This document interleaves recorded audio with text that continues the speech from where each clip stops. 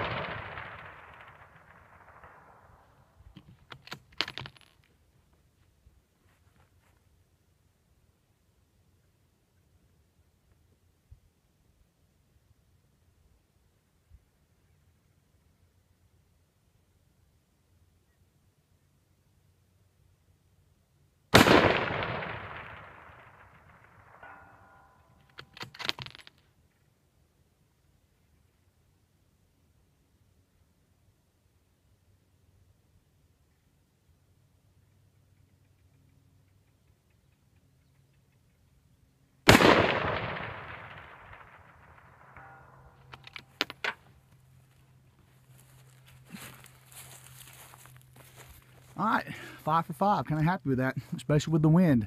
Wind's blowing pretty good right to left, or correction, left to right, and pushed most of those shots to the right edge of the target. I was holding crosshair on the left shoulder, and they were hitting over by the right shoulder. So, kind of happy with that. Got back it out a little bit. And then see what the uh, distance looks like. All the way down there at the end. All right, nice.